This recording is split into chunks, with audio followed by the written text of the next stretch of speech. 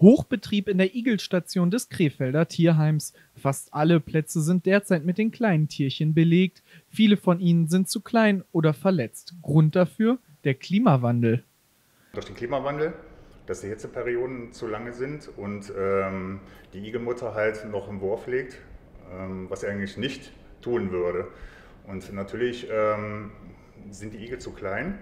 Die gehen ja eigentlich im November in Winterschlaf und die würden halt versterben, wenn sie nicht zu uns kommen. Im Krefelder Tierheim werden die Tiere einem Tierarzt vorgestellt und anschließend entsprechend versorgt. Also die Kosten tragen wir selber, die medizinischen Kosten, auch die Futterkosten, das tragen wir selber.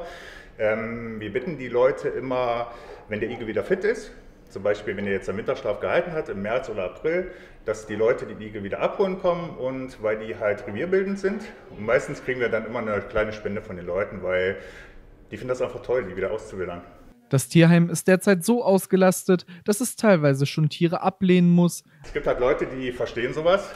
Ne, ich, ich sage den Leuten oder vergleiche das immer, ähm, wenn man im Krankenhaus kein Bett mehr frei ist, muss man auch ins andere Krankenhaus gehen. Ähm, man wird schon mal beschimpft, ja, aber es kommt selten vor. Aber wenn man den Leuten das vernünftig erklärt, ähm, kommt man damit eigentlich sehr klar.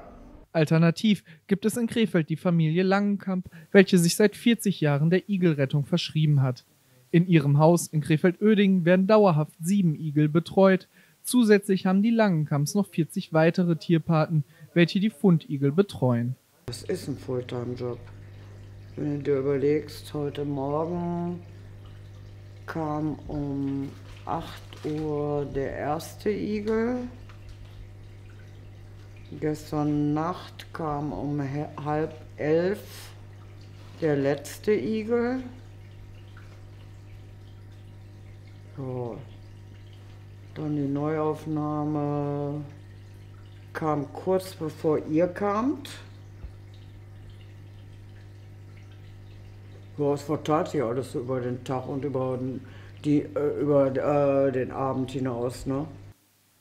Igel sind artengeschützte Wildtiere. Das Halten als Haustier ist strengstens verboten. Lediglich zum Aufpäppeln darf man sie aufnehmen, muss sie aber auch wieder an der Fundstelle aussetzen, da sie Reviertiere sind. Im Gespräch mit den Langenkamps erzählen sie uns von ihren Tierpaten, die oft Fotos und Videos schicken, wie sie zum Beispiel mit den Tieren auf der Couch sitzen und diesen den Bauch kraulen. Ein No-Go, wenn man die Experten des Tierheims fragt. Wir hören immer, dass ähm, private Leute die Igel mal aufpäppeln. Das mögen, mögen, wir eigentlich gar nicht, weil äh, die Problematik ist, ähm, Leute, die sich damit nicht auskennen, ein Igel hat sehr oft innere Parasiten, die man gar nicht erkennt. Und wenn der Igel nicht behandelt wird von einem Tierarzt, verstirbt dieser Igel. Und ein privater Haushalt hat halt nicht die Möglichkeit, außer er geht jetzt um in die Tierklinik oder zum Tierarzt. Aber ich rate die Leute immer, die Tieren fachspezifische Hände zu geben. Auch die tiermedizinische Versorgung weicht bei den Langenkamps von der Empfehlung der Experten ab. Petra Langenkamp bringt die Tiere nicht zum Tierarzt, sie versorgt die Tiere selbst, Wundversorgung ohne Betäubung und nicht steril. Wie lange soll ich beim Tierarzt mit so einem schwer verletzten Tier im Wartezimmer sitzen? Mhm. Außerdem sind im Wartezimmer lauter Feinde des Igels. Hunde, Katzen. Das ist ein Riesenstress für jeden Igel. Und das möchte ich den Tieren einfach nicht zumuten. Mhm. Wer es nicht selber kann, muss natürlich diesen Weg gehen, klar. Aber wenn man es selber kann, kann man es den Tieren eben auch ersparen.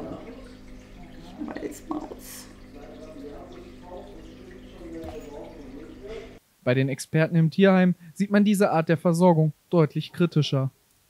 Im Tierheim werden die Tiere, sobald sie schwer genug sind, in ein Außengehege gesetzt. Zum Schluss bleibt zu sagen, nicht alle Igel, die man aktuell findet, brauchen auch wirklich Hilfe.